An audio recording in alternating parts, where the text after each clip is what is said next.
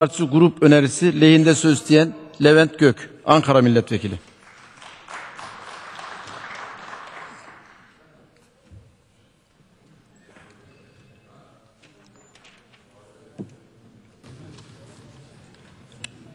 Sayın Başkan, değerli milletvekilleri, Barış ve Demokrasi Partisi'nin Uludere Roboski katliamının araştırılması için vermiş olduğu meclis araştırma önergesi üzerine söz aldım. Hepinizi sevgiyle, saygıyla selamlıyorum.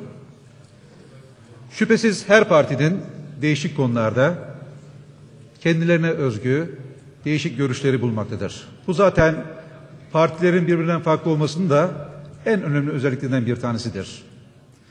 Biz Roboski'de Uludere olayında sadece ve sadece insanlığı ve adaleti düşündük. Biz biliyoruz ki Roboski'de yaşayan herkes hiç kimsenin yurttaşı değildir.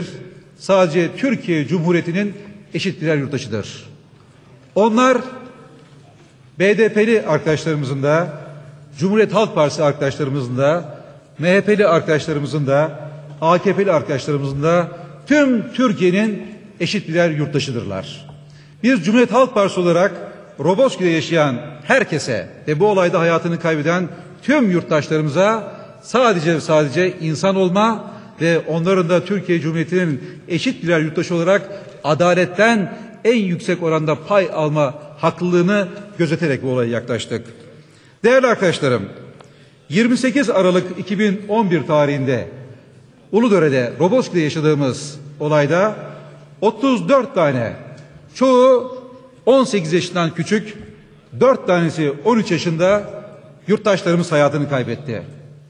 Şimdi hep beraber bir demokratikleşelim diye bir paketten bahsediyoruz ya da paketler demetinden bahsediyoruz. Ama inanınız ki bir devletin yaptığı bir hatanın bedelini ödediği zaman ancak o devlet adaletli olabilir ve demokratik olabilir. Bunun dışında söylenen her söz uçar gider. Eğer bir devlet polisiyle, askeriyle yaptığı bir hatanın insanlarımız üzerine yaptığı şiddetin, ölümlerin, yaralanmalarının hesabını veremiyorsa siz hiçbir zaman bir çözüm paketinden bahsedemezsiniz. Türkiye'deki adaletten söz edemezsiniz.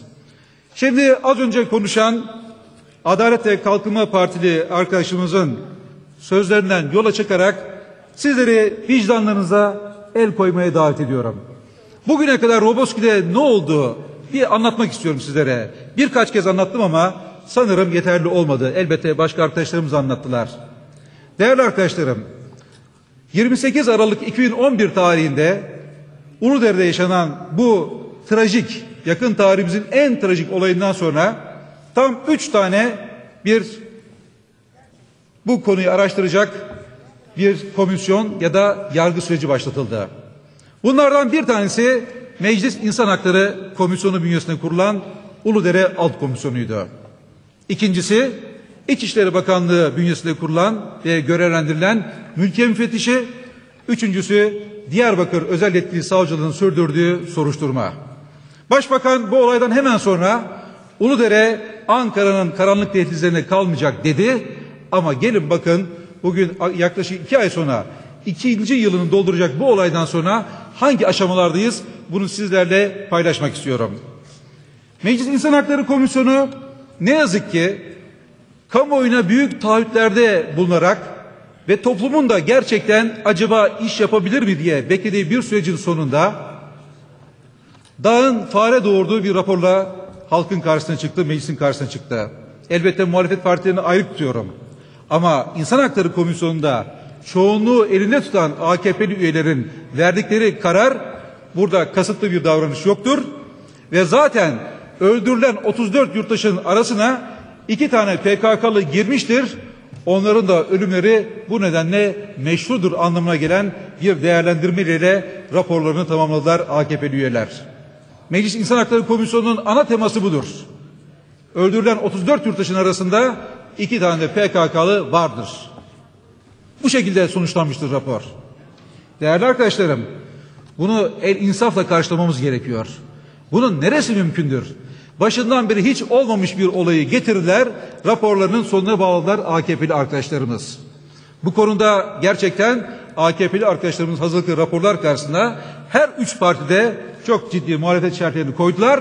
Bence tüm Türkiye kamuoyunun o muhalefet şerhlerini okuması gerekir. Olayın gerçeğini ve sorunlarını öğrenmesi açısından. Mülkiye müfettişi raporu. İkinci aşamaya geçiyorum. İçişleri Bakanlığı derhal bir mülkiye müfettişi görevlendirdi. Mülkiye müfettişi aslında çok kısa bir zaman içerisinde raporunu verdi değerli arkadaşlarım. Ama idare hukukunda mülkiye müfettişlerinin iki tane işlevi var raporlarının. Birincisi ön inceleme raporu, ikincisi soruşturma raporu. 2012 yılının Nisan ayında mülkiye müfettişleri raporunu İçişleri Bakanlığı'na sundu değerli arkadaşlarım. Bu rapor bir baktık ki ön inceleme raporu olarak karşımıza çıktı. Ön inceleme raporu nedir? Mülkiye müfettişleri raporunu araştırırlar ve sonunda bunun bir soruşturmaya dönüştürülmesini isterler. Yani 34 kişinin öldüğü bir olayda derhal bir soruşturma izni verilmesi ve buna uygun bir rapor tanzim edilmesi gerekirken bir de baktık ki iktidar sadece ön inceleme için izin vermiş. Şimdi sizlere hatırlatıyorum. 2012 yılının Nisan ayında İçişleri Bakanlığı'na verilen bu raporun karşısında İçişleri Bakanlığı tarafından soruşturmaya döndürülmüş herhangi bir soruşturma izni bulunmamaktadır. Ben İçişleri Bakanlığı'na bir soru önergesi verdim. Bu ön inceleme raporu konusunda bir soruşturma izni verdiniz mi? Verdiyseniz hangi tarihte verdiniz? Ya da size bir soruşturma raporu geldiyse bununla ilgili ne işlemler yaptınız? Değerli arkadaşlar bu fark neden önemli? Çünkü ön inceleme raporu sizi bir müeyyideye götürmüyor. Müeyyideye götürmesi için bunun soruşturma iznine dönmesi ve raporunda buna uygun çıkması gerekiyor. Dolayısıyla İnsan Hakları Komisyonu'ndan sonuç alınamadı. Mülkiye müfettişleri raporu dediğim gibi soruşturma izni daha verilmemiş bir rapor olarak tozlu raflarda duruyor. Geliyorum Diyarbakır Özel Yetkili Savcılığı'nın tavrına. Değerli arkadaşlarım, hukukçu arkadaşlarımız bilirler. Bir mahkeme ya da savcı önüne gelen bir dosyada önce usule bakar. Ben bu olayda görevli miyim, yetkili miyim diye. Ben Uludere Komisyonu'nda görev aldıktan sonra pek çok kez kamuoyunda savcıyı göreve davet ettim. Derhal dava açmanız, açması konusunda. Bir de baktık tam 14 ay geçti. Diyarbakır Özel Yetkili Savcılığı bir tek askeri yetkiliyi dinlemeden dosyada görevsizlik kararı verdi. Değerli arkadaşlarım bu ne yaman bir çelişkidir böyle. Yani siz 14 ay neyi beklediniz? Siz görevli olup olmadığınız zaten dosya size geldiği zaman ikinci gün, üçüncü gün, dördüncü gün bunun kararını vermek durumundaydınız. Esasa girmeden eğer kendinizi görevli görmüyorsanız derhal dosyayı görevlisizlik kararıyla nereyse oraya göndermek gerekiyordu. Diyarbakır Özel Yetkili Savcılığı değerli arkadaşlarım tam 14 ay dosyayı elinde tuttu ve sonunda bir görevsizlik kararı verdi. Bakın şimdi ne olacak? Şimdi dosya Genelkurmay Askeri Savcılığına geldi. Bir gizlilik kararı var.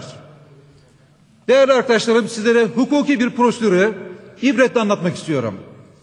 Adli yargının yani Diyarbakır Özel Yetkili Savcılığının verdiği görevsizlik kararı üzerine şuradan iddia ediyorum ki tam bir yıl sonra da Genelkurmay Askeri Savcılığı görevsizlik kararı verecektir. İddia ediyorum bunu huzurlarınızda. Peki ne olacaktır? Adli yargının verdiği görevsizlik kararı üzerine, savcılığın verdiği görevsizlik kararı üzerine askeri yargıda görevsizlik kararı verirse maalesef dosyaya bakacak bir organ bulunmuyor. Eğer bir dava açılıp mahkeme görevsizlik kararı verseydi ve diğer başka mahkemede görevsizlik kararı verseydi uyuşmazlık mahkemesi olayı çözecek iken savcılık aşamasına verilen görevsizlik kararları üzerine dosyaya bakacak organ bulunamıyor. Bu durumda Genelkurmay Askeri Savcılığı'nın muhtemelen vereceği görevsizlik kararı üzerine dosya tekrar Diyarbakır Özel Yetkili Savcılığına gidecek ve savcılık da iş yapmış olmak için bir dava açacak. O mahkeme bu sefer görevsizlik kararı verecek. Dosyayı tekrar Genelkurmay Askeri Mahkemesi'ne gönderecek. Genelkurmay Askeri Mahkemesi'ne görevsizlik kararı verecek ve dosya Uyuşmazlık Mahkemesi'ne gidecek. Arkadaşlar bunun zaman açısından faturası tam 4 yıl ya da 5 yıldır. Dolayısıyla değerli arkadaşlarım kendimizi aldatmaya, kandırmaya gerek yoktur. Roboski'de yaşayanların hepsi bizim kardeşimizdir. Hepsi onların her biri ayrı ayrı Türkiye Cumhuriyeti'nin eşit birer yurttaşıdır. Onların her birinin adaletten herkes gibi pay almaya hakkı vardır. Biz meseleye bu açıdan bakıyoruz ve Barış ve Demokrasi Partisi'nin verdiği araştırma önerisini de desteklediğimizi ifade ederek sözlerime son verdiğini sizlere belirtmek istiyorum. Hepinizi sevgiyle saygıyla selamlıyorum. Teşekkür ediyorum. Barış ve